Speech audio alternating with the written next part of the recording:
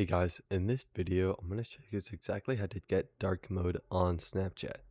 So sometimes you might be doing Snapchat at late at night or you just want to change it to dark mode so it isn't as bright. But if you turn on bright uh, dark mode, then it isn't as bright, it doesn't hurt your eyes as much. So I'll show you guys exactly how to turn it on in this video today. But first things first, you want to make sure that it's all the way updated on the App Store and Google Play Store.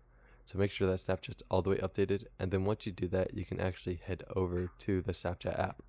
Now on the Snapchat app, what you're going to want to do, you want to click on your profile picture in the top left corner of the screen.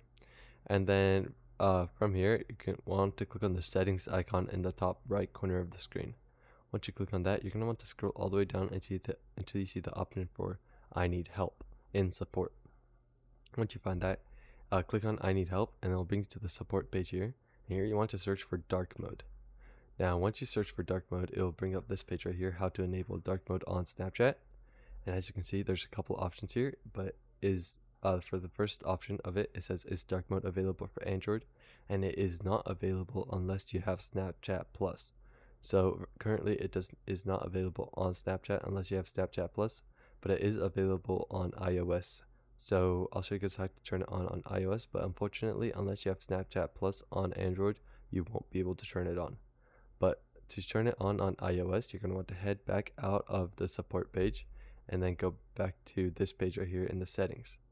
Now, once you're back in the settings page, you're to want to scroll down until you see the option for uh, app appearance, which is in the my account subsection. Once you find app appearance, you're to want to click on it and it'll bring you to this page here. There's a couple options here, but if you just switch to always dark, it will automatically turn on dark mode on uh, Snapchat. So that is how you turn on dark mode on Snapchat. So I hope this video is helpful. If it was, I'd really appreciate a like and subscribe. Leave any questions you have in the comment section below. I'll do my best to answer them, and I'll see you guys next time.